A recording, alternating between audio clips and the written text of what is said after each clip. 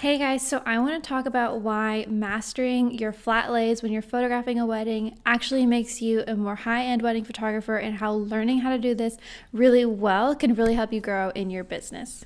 So, if you're new here and you've never seen my face before, I'm Samia. I'm a wedding photographer and I make a lot of educational videos on things I've learned photographing weddings. I'm extremely passionate about wedding photography. So, if you're a wedding photographer too, go ahead and subscribe and leave me a comment, introduce yourself because I would love to get to know you more.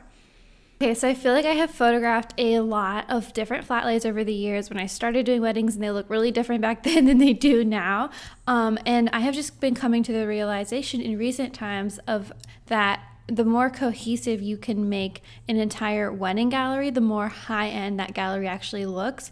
And that kind of concept um, goes into all parts of the wedding. So not not only have I learned to photograph the actual wedding day details better, but I've also learned um, how to think about them and like my pro- thought process for what I'm actually putting in those positions and like what I'm actually laying out in a certain way and how that relates to the overall gallery. So I feel like a high end photographer is really thinking about the entire gallery as a whole a lot more than um, like maybe somebody who hasn't been doing it for that long. And I feel like that's come into play with me. Um, and I'm going to show you a little bit of examples. Okay, so I'm just going to show you a little bit of this gallery and how what I'm talking about. So right here, this is a photo of some details I did at a recent wedding. Um, you'll notice they're a little bit simplistic, a little bit minimalistic, and they have these flowers, plain background.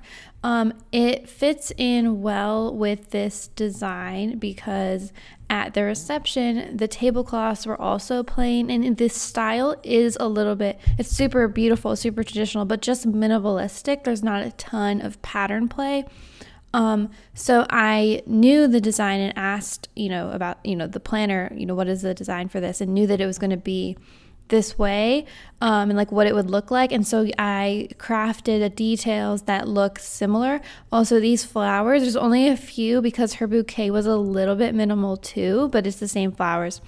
Um, so, you know, if I had done, for example, this tablecloth was beautiful, but it only appeared one time in the only on one table in the cocktail hour, and you never see it any other part of the wedding. And her colors are blue, so this potentially could have been a good flat lay background, but I'm not sure it would be that cohesive with the rest of the wedding um, because the rest of the wedding was super minimal. So, just thinking ahead to what would make a beautiful album, a beautiful cohesive story, a, a thought that makes sense um, is something that's been really helpful. I wrote this too. Having a cohesive vision is important when photographing a wedding, and I wanted to show you this little example on the left of tying everything together. So I used a custom painted backdrop um, for the details of this wedding that you'll see in the middle, and I feel like it really does tie everything together because you'll see in these details I pulled a little piece of green, which I don't always add green unless we're doing a lot of green outside. Again, you know, trying to tie that vision together. Then her, you know, her stationery.